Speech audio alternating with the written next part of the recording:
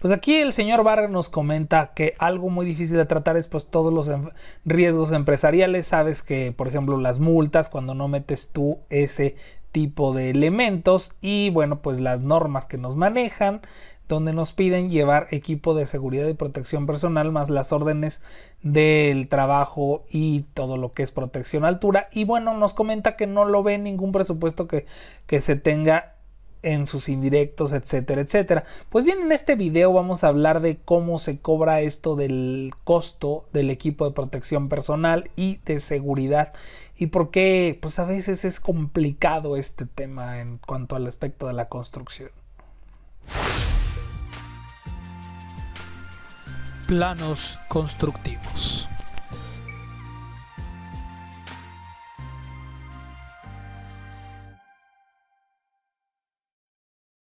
¿Qué tal, qué tal, constructores? ¿Cómo están? Yo soy el arquitecto José Arroyo. Bueno, estos planos constructivos donde hablamos de todo lo relacionado a la construcción y la arquitectura. Parte de esto es sacar precios unitarios. Hablando de precios unitarios, déjenme recomendarles el software Project Pro, que lo van a ver ahí arriba, cómo conectarse o cómo tener acceso a este.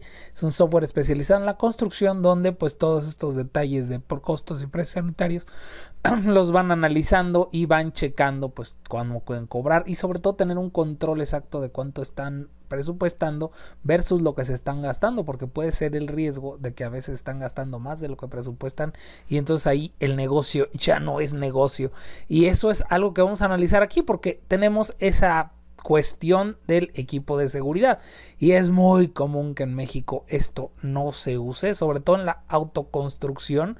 Y si ven, pues sí, es, tiene razón el compañero. Aquí no estoy yo considerando en esto la, em, lo que es el equipo de seguridad, el equipo de protección personal. Eh, por un simple y sencilla razón, porque todos estos análisis yo los hago como si ustedes se fueran a poner a autoconstruir ya después les daré mis razones de por qué los hago como si ustedes fueran a autoconstruir. Pero si ustedes están, a lo mejor quieren practicar con esto, son estudiantes, pues aquí es bien fácil. Te vas y al de la cochera o al del cuarto y te vas aquí y una es esta. Te vas y le pones 1.05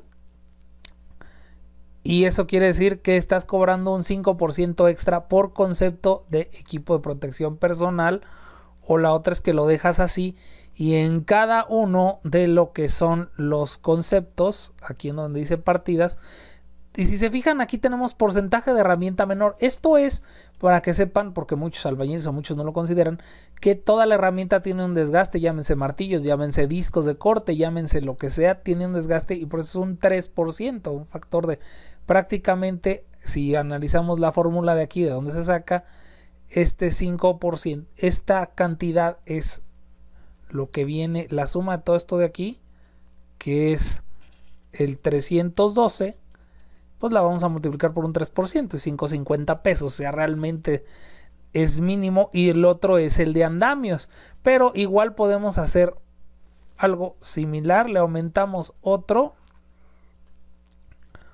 y bueno, aquí si le podemos poner porcentaje MO3 o MO5.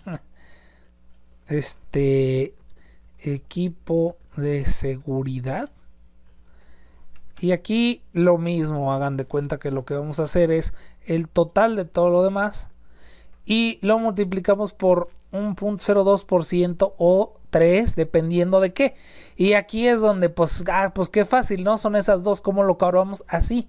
Pues les va también una historia personal de por qué es un relajo el equipo de protección personal. Y acá lo tengo, a ver, ahí estaba mi correo. Y en este caso, vean, tenemos lo que son los lentes. Y bueno, pues ahí están. Y lentes hay de un tipo. Y luego yo no sé ustedes, pero yo tenía albañiles fresas. Y pues no querían los lentes más garras. O sea, estos que son los más baratos. De 586. Que ahorita vamos a analizar qué tan baratos salen. La verdad es que eh, estos de 800, mientras más compras, pues más baratos te salen. Entonces 12 piezas de 842 salen a 70 pesos cada uno. Ya no están en 20 pesos como antes. 589 entre 6 salen a 98. Estoy seguro que si tú le buscas en otro lado te puedes hallar muy buenos este muy buenos tratos de equipo de protección personal y aquí te marcan, a ver, vamos a ver aquí al bomberito No, no es bomberito. Te dicen la cabeza de entrada, los cascos, los audífonos. Y aquí los cascos es un show porque muchos les choca el casco, se desesperan, se lo quitan. La verdad es que el casco, y vamos a ser honestos, lo usan más y ese sí en las industrias cuando tú eres contratista pues se usa bastante pero como aquí no lo hacen no lo hacen visible. La verdad es que a mí sí el casco me llegó a proteger. Y curioso porque ahorita ando ando malo de la espalda ando ya estoy ruco ya me duele la asiática y no tiene nada que ver porque cargué algo mal no yo creo que fue más como dijo Franco Escamilla porque dormí mal o algo hice y pues ya ven cuerpo chafa de la pierdes la garantía a partir de los 30 y entonces pues una vez me está acordando de esto. Y ese es el tema, los protectores de cabeza que muchas veces en obra, como tú no manejas cosas altas, elevadas, no tienes grúas, pues se les hace fácil no usarlos, los albañiles prefieren su gorra de toda la vida. Y es un tema, porque tienes que estarlos pescando. Otra cosa son los, los, lo de los ojos, los lentes y aquí lo que voy, prácticamente esta parte del video va a ser todos los pretextos que te ponen para no usarlos. El casco, pues porque les cae gordo y que no les guste, que les pica y bla, bla, bla. Luego, vámonos con los lentes. En los lentes, ahí yo me acuerdo muchísimo. Este para mí es el más importante de todos. Más que el casco, yo creo que los lentes. ¿Por qué? Porque el casco, este, sí es muy bueno, pero el tema es que pues no tienes cargas, no estás aventando muchas cosas, no tienes grúas, no tienes tubos arriba que les peguen. Y los lentes sí a cada rato están que con los clavos y cosas que les pueden brincar en los ojos. El tema con los lentes es que siempre se les empañan porque están calientitos, porque están trabajando en el sol.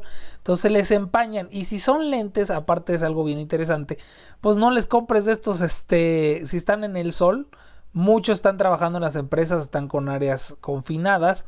Entonces, pues pueden funcionarle esos lentes donde están en áreas oscuras. Estos lentes claros están muy bien, pero yo la verdad es que prefiero comprarles de esos del tianguis, de eh, oscuros. Obviamente, el tema es que los lentes del tianguis, fíjate que sean tipo Oakley o que sean tipo como estos. ¿Por qué? Porque la, la forma de la cara del mono pues hace que no se le meta la basura por abajo. En cambio, si les compras unos de aviador del tianguis, pues ahí se les va a meter en los ojos, eh, se les puede meter por aquí abajo, con por ahí el polvo y pues, o pues algo, un objeto volátil, y ahí está la bronca, ¿no?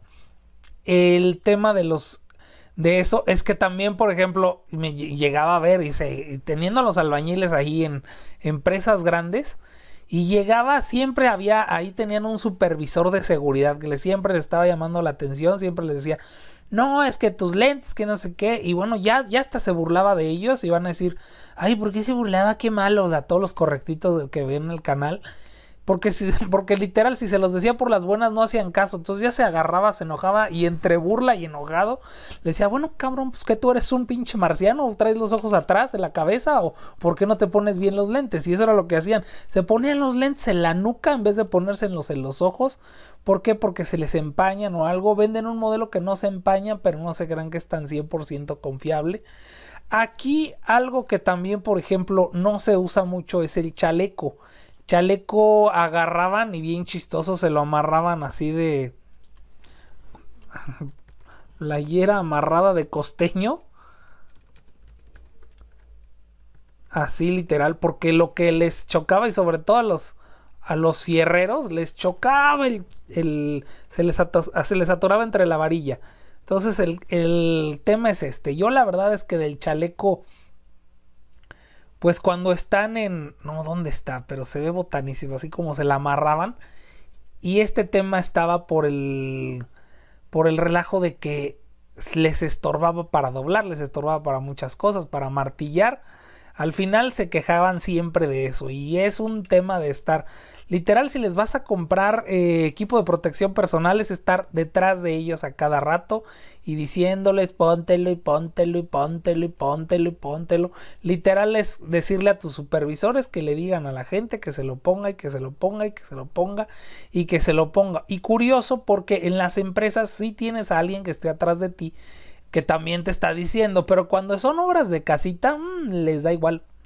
Literal me dan ganas de comprarles mejor una camisa naranja y que diga aquí y con brillitos a eso porque la verdad es todo un show. Ahora, los guantes es igual. Como no tienen el mismo agarre, pues al no tener el mismo agarre se los quitan. De las botas depende, si van a colar se las ponen. La mayoría usa este de las botas, eh, ellos las ponen la mayoría. Y, y son botas de trabajo que, que, todos usan, a menos que sean las botas de hule, sobre todo en los colados, ahí sí es súper especial y por eso se, se, cobra en porcentaje, porque la verdad es que no puede estar cobrando un, un, par de lentes para cada cosa, porque hay veces que no les duran mucho, dependiendo del trabajo hay cosas que no les duran mucho. Los guantes es lo mismo, se los están quitando, hay que estarlos regañando, literal no nada más es de le compro el equipo de protección y ya, no, no, no, hay que estar checando que lo, que lo usen. El otro tema es, por ejemplo, los protectores auditivos que aquí cuando tienes tú una persona con ruido alto, pues la verdad es que sí, deben de cuidarse las orejas porque pues ahí tenemos, si de por sí la obra tiene mucho ruido, si estás demoliendo, si tienes un martillo rompedor o algo por el estilo, ahí es de cuidado. Este sobre todo, el chaleco, cuando estás tú en obras de alto tráfico o algo, más vale. Está también el otro tema del tipo ah, dentro de las obras y ese sí considero cobrarlo, aquí no lo pongo yo, pero es un, una cuadrilla de un peón, que es el famoso tipo de la banderita, el que está dirigiendo el tráfico. Ese sí cóbralo aparte. Es el único que te diría que cobres aparte. Porque, y, lo, y la mayoría de los albañiles lo odian así el, el, el, el trabajar de banderita. Tú dices, no, pues es el trabajo más baquetón del mundo, ¿no? Eh, pero ¿cómo les explico? Banderero. A ver si lo encuentro. Este señor de la banderita, el que dice que pases y que no pasen, tienen que poner un May que sea súper mmm, tranquilo. Si ponen una persona que es enojona, que es muy aprensiva, etcétera, se va a volver loco aquí. ¿Por qué? Porque toda la gente que está en la calle le menta a la madre, le dice de cosas no, y llega bien encabrón. Entonces ya después yo, y una vez me tocó una obra así en, para agua, de agua municipal y así. Y no, hombre, pues puse a uno que era bien aprensivo a que, a que pusiera la, la banderita y no, era siempre se enojaba, nomás la hacía de jamón. Y ya después pusimos un chalán así bien tranquilo. Miren qué vaciado hasta me darían ganas de poner una chava así bien guapa para que a ver si es así le gritan. Bueno, también le van a gritar, pero otras cosas. Pero siempre salían siempre salían molestos. Y cuando puse el tranquilo, no, ese se la llevaba bien a gusto. Le valía chetos y todo. Pero sí, este señor, el de la banderita, sí cóbralo. Igual si te van a pedir este tipo de señalizaciones, lo que son los trafitambos, los postes, todo esto. A ver, vamos a, a visitar esta, esta parte. Aquí sí cóbralo aparte. Pero la mayoría de veces o sea, todo lo que son chalecos, sombreros, lentes, eso se cobra como porcentaje de indirectos. Pero ya la par... Ah, y también debes de tener una... Un botiquín de primeros auxilios. Ese, ese es basiquísimo, ¿no? Si se fijan, todo lo que trae el monito menos la bandera es básico para, para que lo traigan. Pero el, el famosísimo impermeable cuando te toca en el agua ya banderitas, trafitambos, esto de que el piso mojado, bla, bla, bla. Eso sí, cóbralo aparte. Andamios, eh, barandales de andamios, etcétera. Depende, se pueden cobrar de, una u otra manera. Pero sí, considérenlo. Igual la cinta esta de peligro, que también una vez me pasó en Celaya. Eh, estábamos, a ver si la encuentro, déjenme le pauso. Estábamos sobre este camelloncito, entonces estamos abriendo la calle y aquí pues obviamente hay que señalizar que tú vas a abrir. Esto es antes de que nosotros interviniéramos, la intervención se hizo aquí.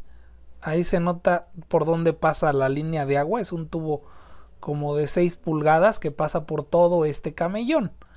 Y bueno, pues ahorita ya se nota más un poquito el camellón. Pero en estas partes no tiene guarnición, no tenía. Entonces les hacía fácil pasarse por aquí. Entonces les puso una cinta para que, ah, pues no, llegó un chingado taxista, le valió madre, se pasó y ahí se cayó a la zanja y se volteó. Entonces afortunadamente el taxista no se murió, pero aunque les pongas cosas, la gente le vale. Y eso es bien importante también, sobre todo cuando están trabajando. Eso también se cobra aparte. Pero al menos el equipo de protección para la gente y porque es seguridad en general, sí tomen en cuenta estas indicaciones y pues por ejemplo puedes hacer tú tu tarjeta de precio unitario de equipo de seguridad para o señalización o medio de cita este de peligro y postes porque también es un show aquí es, es está curioso si tú agarras y pones los conitos estos que todo el mundo conocemos o los trafitambos tienes que poner casi casi un velador porque llega cada pinche loquito en la noche a robárselos entonces, pusimos varios, se los robaban, se los robaban, se los robaban. Al final lo que pusimos fue fajilla de madera, unos postes de fajilla de madera y con un montón de cinta de precaución, de peligro para que no hicieran esas tarugadas. Entonces, otro tema es el de los arneses. Los arneses son súper de cuidado y lo que da más da coraje es que salen bien caros. Aquí sale un arnés todo de esos, de esos no compren. Este, de estos sí. Y este tipo de arneses, pues la verdad es que son muy buenos. A la gente tienen una cosa que le llaman la cola de chango. Y la cola de chango es la, la, famosa línea de vida. Esta, si algún día se llevan a caer, pues cámbiela. Pero vean cuánto cuesta. Cuesta 3 mil pesos, ¿no? Entonces, este arnés no. Este sí. Entonces, ojo con eso, hay que tener cuidado porque el arnés pues luego no lo amarran a la línea de vida. Lo, le hacen al cuento para que uno no les esté dando lata. Ya me ha tocado que lo amarran a un alambre que ni funciona bien, que nada. Y la verdad es que hay que tener mucho cuidado. La mayoría de los accidentes de muerte es o eléctricos o por el arnés. Entonces el arnés no lo pelan, les da igual. Uno, tiene que estar uno como su papá cuidando a cada uno de los maíz, a que se amarren bien el arnés, que se lo pongan donde debe de ir y que se lo amarren bien. Ya me tocó uno de los maestros que se cayó y que afortunadamente el arnés lo salvó. Pero sí hay gente que de plano el arnés pues no lo, no lo pela. Y es una, una segunda parte, ¿no? Donde, donde prácticamente hay que tomar en cuenta que el pues todo esto que les dije de los lentes, de que hay que estarlos este, cuidando, de hay que estar viendo. Es, es un tema bien curioso porque realmente los arneses, los lentes y todo eso, eh, si ustedes son trabajadores, neta cuídenlos porque aunque uno está cobrando esto, vean que es mínimo lo que se cobra. ¿Creen que uno como contratista es millonario? Luego si quieres empezar una empresa, pues esta parte, sobre todo por eso, por eso las remodelaciones muchas veces eh, pues no tienen tanto riesgo que trabajitos de pintura y así los que van a empezar porque si quieren ir a una empresa de contratistas les van a pedir todo esto y es un dineral gastado la gente luego no cuida las cosas, les vale, deja los lentes allá aventados, ya se rayan a los pocos días. Llegan, mira, están bien rayados mis lentes. Pues sí, carnal, no los cuidas. No cuidan los lentes, no cuidan los cascos, todo lo avientan, lo dejan por ahí. Entonces, pues también, o sea, ese es un tema bien curioso porque es un balance entre que uno sí les quiere dar equipo de seguridad, pero al mismo tiempo la gente no lo cuida. Dicen que lo que es de lo que es de todos no es de nadie y a veces ahí está el problema yo creo que aquí se debería de hacer como una especie de bono por cuidado de equipo de protección personal o algo. Comenten abajo qué, qué propondrían ustedes porque si es todo un show. Aunque se cobra esto, pues luego a veces no se tarda. Hay empresas que hasta tu utilidad te la merman hasta el final, te quitan un, te retienen un porcentaje de la estimación de lo que tú cobras para que este por ellos, por seguridad, etcétera, lo que políticas de las empresas y ahí está el tema. Entonces piden y piden equipo de seguridad, pero al final pues no ven que también se gasta y que, que no está tan facilito y sobre todo cuando no lo cuidan. Entonces, ahí se los dejo de tarea, constructores. Ya saldré más en los videos, ya que me deje de doler poquito la espalda. Yo soy el arquitecto Jesús Arroyo y nos estamos viendo. Espero que les haya servido. Hasta luego.